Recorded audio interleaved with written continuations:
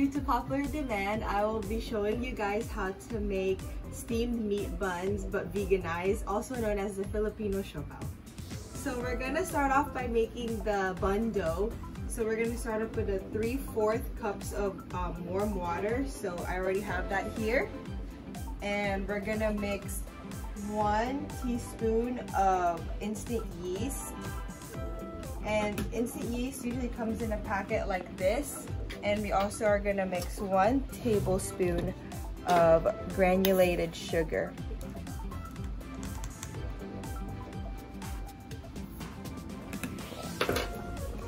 And you're gonna whisk all of these together until the yeast dissolves.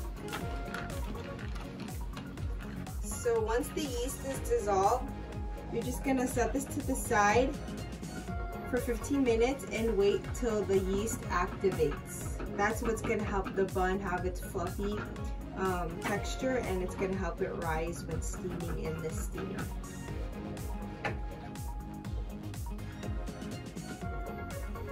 While you're waiting for the 15 minutes to let your yeast activate, we're gonna start uh, making the filling for the buns. So we have green jackfruit from Trader Joe's. You're just gonna put it in a colander and let it um, seep all the juices out. Then you're gonna take these and then you're gonna just pull them apart.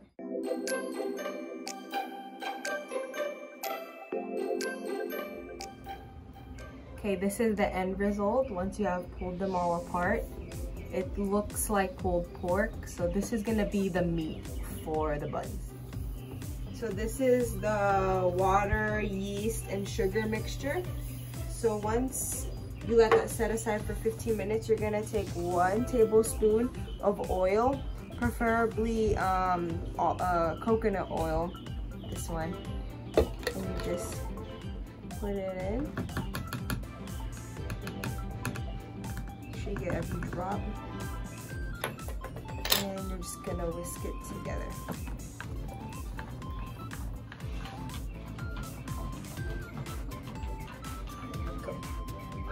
This is your liquids for the flour mixture.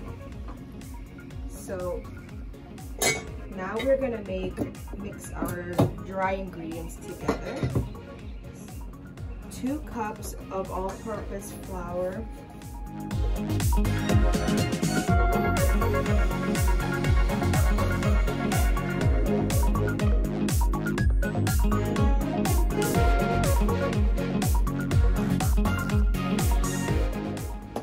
then you're gonna add two tablespoons of cornstarch with your flour.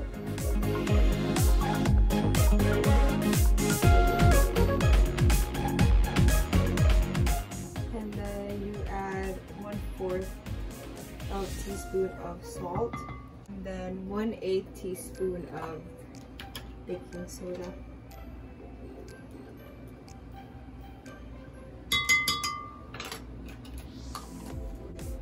Then you can either whisk it by hand together or you can use a stand mixer like I'm using. And you just mix your ingredients together.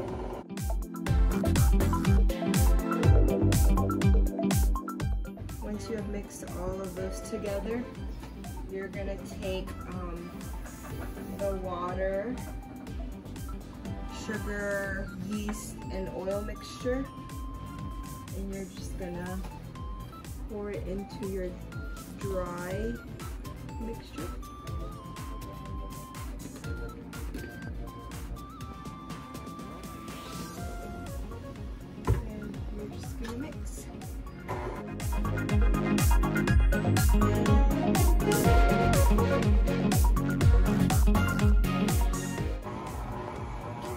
To wait for a while to until all of these until both the mixtures are together completely. So you might have to stop in the middle of it. Just clean it out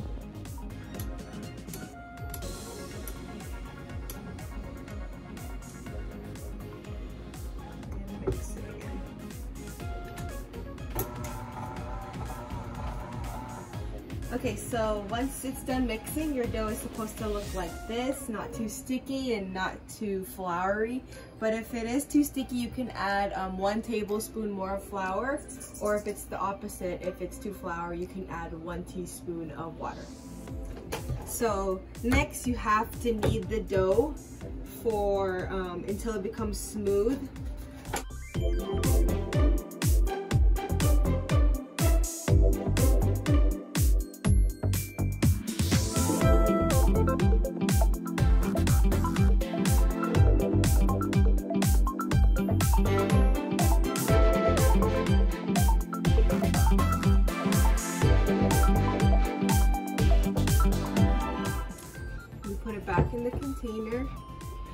Just gonna add a teaspoon of oil on top of it.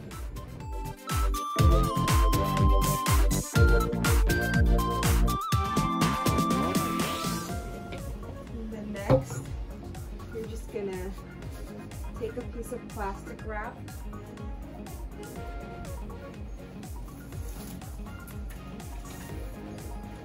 cover your container. Sorry.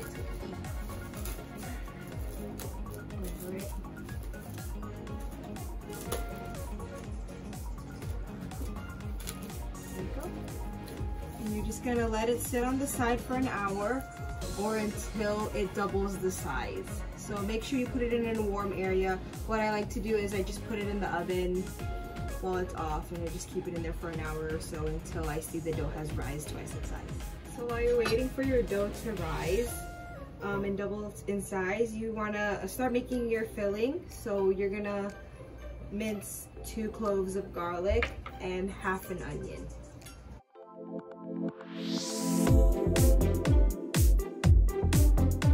Okay, so we're gonna start with our filling. So we're gonna have a pan with oil already and heat it up. So we're gonna put in our two cloves of garlic.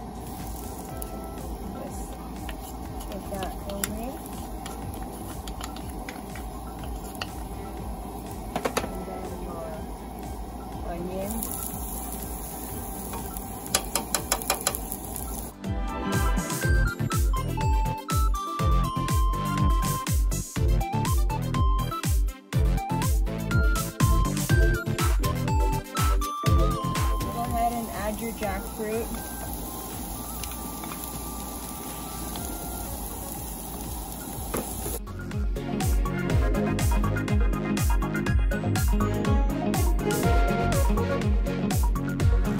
Okay, so once your jackfruit has turned into a nice kind of like light brown color, you're ready to add the other ingredients. So we're gonna add um, one fourth cup of liquid aminos, or could do low sodium soy sauce.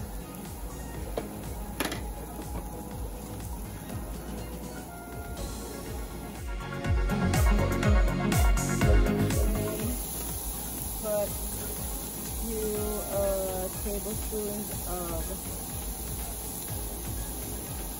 hoisin sauce. What I'm using is the vegetarian hoisin sauce.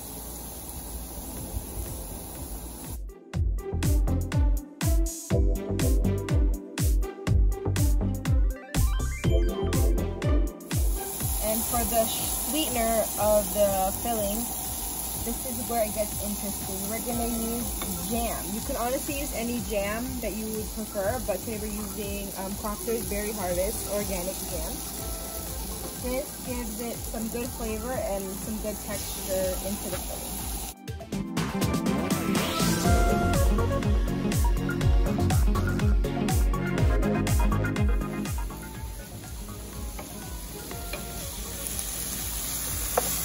Smelling delicious. You can add pepper.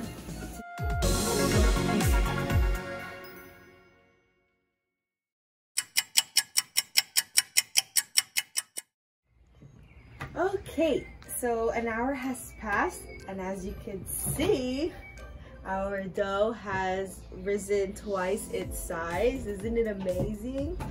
and I've already cleaned my surface and I repowdered it because we're gonna knead the dough some more.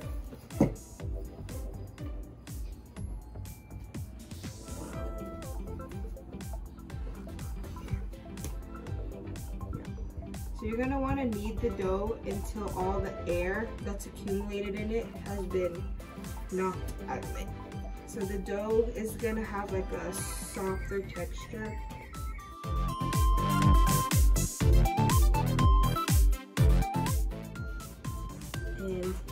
are gonna do the best part. So we're gonna take a about a tablespoon or so size ball. And you want to keep your dough covered while you're like in the middle of this process so it doesn't dry out. So you're gonna get some flour on and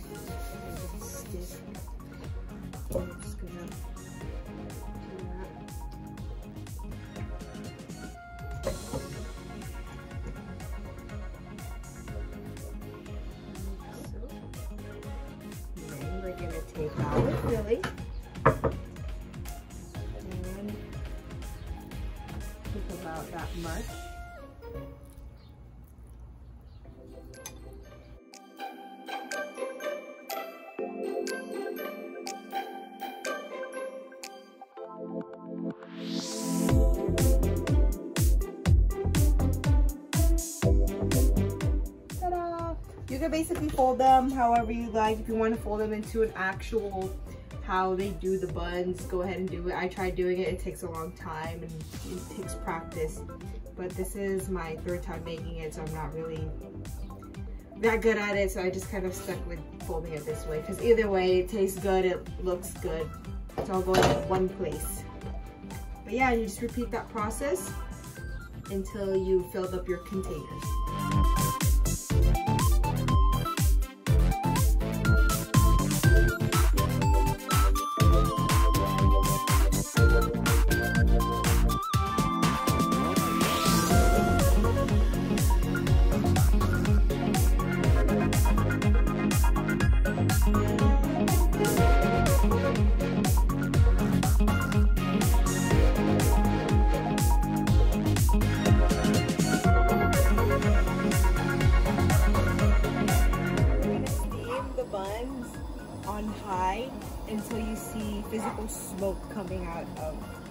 The container. So it doesn't matter how long, since you see the steam coming out. And then after that, once you see steam coming out, you're gonna put the heat on to medium for 10 minutes. And then after those 10 minutes are up, you're gonna turn off the stove and just leave the container for 10 another 10 minutes. Do not open anything. It's just gonna help the dough set and so it doesn't collapse. And then once those 20 minutes in total are done, you are ready to eat it if it's cool enough.